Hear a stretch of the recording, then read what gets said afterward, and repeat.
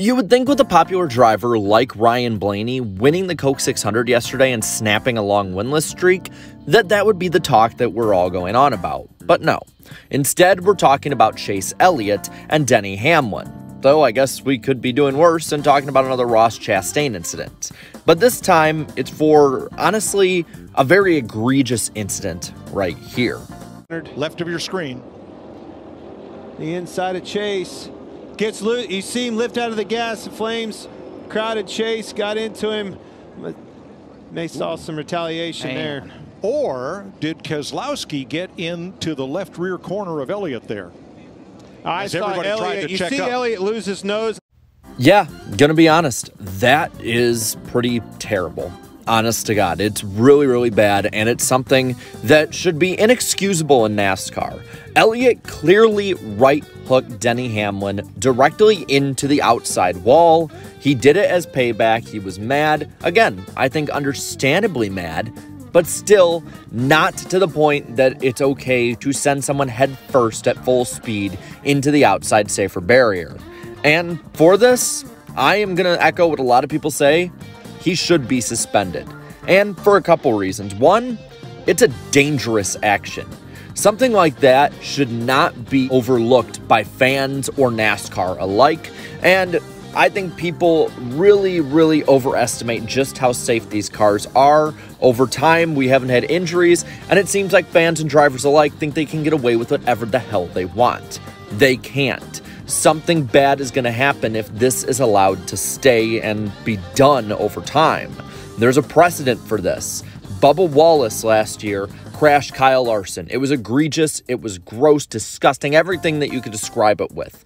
And he got suspended for a race. Now, at the time, I will admit, I thought he should have been suspended the last three races of the season. It's something that is inexcusable. And if the precedent hadn't been set at one race, I'd say Chase Elliott should be suspended multiple races for it. I think it is absolutely over the line, and it's something that NASCAR needs to put their foot down on, get in the room with the kids, and be the adult on.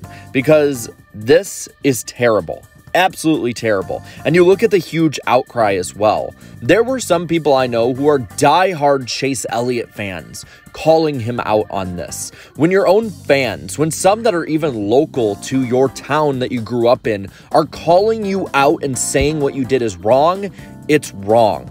And that is not a justification for a penalty, but it shows that pretty much everyone could see what was going on, and you would have to be blind not to. Denny Hamlin brought out the SMT data showing where his steering was and how it was pretty damn clear that nothing was broken and he did it on purpose. Oh, and Denny also went off on his podcast saying this.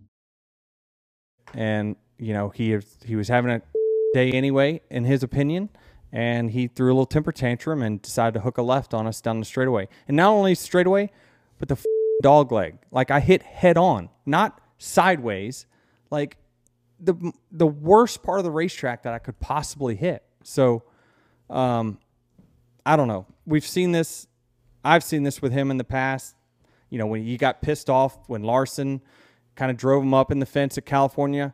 Larson's leading the race at the end. He intentionally caused a caution there, trying to screw Larson over his teammate. And then when Harvick and him got into it, he came in. Where's Harvick? I'm going to help my teammate out. Blocked Harvick so Kyle Larson could win. Like, this is just this. This is bullshit. And so, you know, I don't mind Chase Elliott fans. Some of them are, are sane. Most of them are not. Uh, even when you got the Dawsonville pool room saying, "Oh boy, we need a substitute driver next week," you probably know you fucked up. You know, like you, there's no explanation that he could possibly give, which he didn't, of reason for hanging a left. You know, he obviously didn't want to admit it. He did the, oh, I can't hear you. Sorry. And then, uh, sorry, I can't hear what you're saying. But yeah, my car just couldn't drive it. Bullshit. The wheels were dead straight. Even after we crashed and like destroyed our, he goes down the back straightaway and you look at both tires, front tires are pointed the correct direction. Uh, and I pointed out in the data that I tweeted that once he got into the wall, there was nothing wrong with his car. He he's turned the wheel back straight like he was going down the straightaway, and and you can tell by data whether you've got toe link damage or not. So you can tell that basically if your line is skewed uh, one direction or another where you have to turn it left, turn it right, whether you've been a toe link or done significant damage. For God's sakes, Tyler Reddick pounded the wall twice as hard as he did and didn't hurt his car. Everyone uh, hits the wall. But he threw a hissy fit and he just hung a left on us in the most dangerous part of the part of the racetrack that you possibly could. And it ended my day and his and in my opinion, he shouldn't be racing next weekend because NASCAR set a precedent last year on. Now, some may think that I'm a Denny Hamlin fan or I'm a Chase Elliott hater. I'm going over the line and I'm obviously just targeting Chase, but I don't think that is the case at all with where I'm going with this because I personally think that Chase Elliott should be held to a very high standard, a standard that unfairly or fairly should be given to every driver that is of high stature of popularity and high stature of talent and results. He's a champion. He is the 2020 champion. Make all the Mickey Mouse memes you want. He rightfully won the championship under the system that was given. And because of that, he is a different level of NASCAR driver. He is definitely one of the 50 to 75 greatest of all time, easily. He should be on that list. He is a multi time winner. He is consistently a top 5 to 10 driver in the points every single year of his career. Maybe not this one because of the injury, but still is always up front. And because of that, he should be held to a standard as an ambassador to the sport. He is the most popular driver. He is somebody who can change the way that the entire fan base sways on different issues or on how they view a race or an incident or whatever. We've seen it with this, where tons of Chase Elliott fans did call him out, but also tons of them were trying to find every excuse under the sun to get their favorite Golden Boy out of the way with this. And I don't think that the Golden Boy comments, for the most part, are valid on NASCAR's sake, but when it comes to his fans, they were definitely apparent in the way that they were commenting about this. And you know what?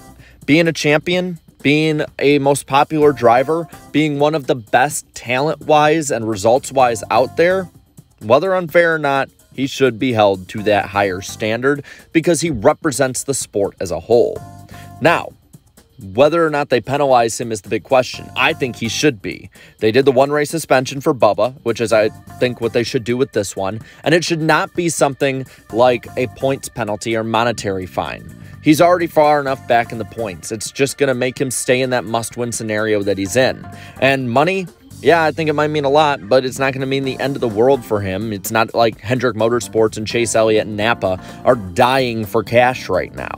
NASCAR needs to send a statement about what the law is. You cannot get away with it no matter who you are most popular driver or most polarizing driver. He should be treated exactly the same, and that is that. But what if they don't send this penalty? Well, I think NASCAR is easily accused of favoritism. And there are some reasons I think that they may not give this suspension out. For instance, look at the TV ratings when Chase Elliott was out compared to when he's in. Yeah, the ratings aren't exactly the greatest nowadays in NASCAR, but they weren't going down when Elliott came back, but they were down double digits for every race that Elliott was out. Is NASCAR really going to want to maybe put that up to another challenge again with Gateway, a race and a track that has seemed to be a success in year one and is well on its way to being a sellout success for year two. I don't know about that. And you, we've seen it in the past where drivers like Dale Jr. and Jeff Gordon have right hook drivers into the field or outside walls before, and they either get a slap on the wrist or they get, well, a slap on the wrist, but in different ways. Look at Jeff Gordon, especially in 2012, right hooking Clint Bowyer into the outside wall, and then going on the next week to win at Homestead. NASCAR should not play blatant favoritism with this because it sets a dangerous precedent that some drivers can get away with bloodthirsty looking actions. And that is just not fair at all. It's not fair to NASCAR fans. It's not fair to really the integrity of the sport. And any fan that would want to call Chase Elliott Golden Boy has every justification to do so if NASCAR does not take action on this. And I'm just going to finish on that.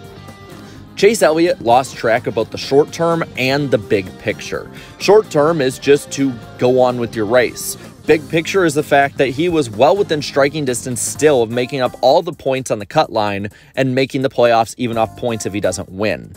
Now, he's probably in a must win, especially if the suspension is done.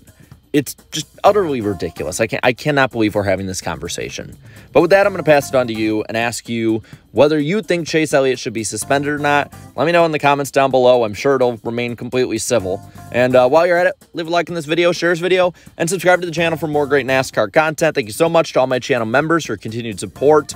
Also, be sure to watch the NR Cup Series tonight on IDK Players channel at Michigan with COTs, and the NASCAR Weekly Podcast on Wednesday night, tomorrow night on Danny B Talks channel. So until next time, have a good one.